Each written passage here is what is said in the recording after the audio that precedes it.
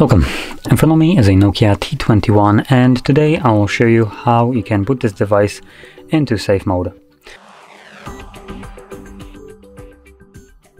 So to get started all you need to do is hold your power key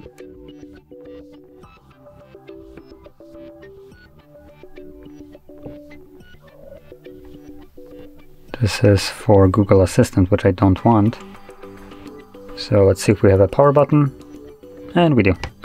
So let's select our power button and then from here you want to hold power off. This will then change into reboot to safe mode, confirm by tapping on OK.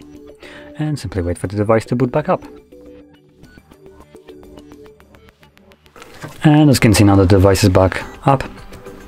We are in safe mode which you can see right here.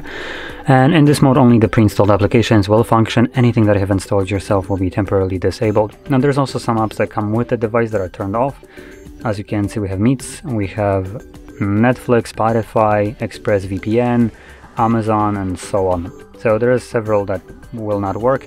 And the way I define those is, as you can see, they are now kind of semi-transparent. Even if you try to open them up, it gives you this pop-up, downloaded apps disabled, and safe mode.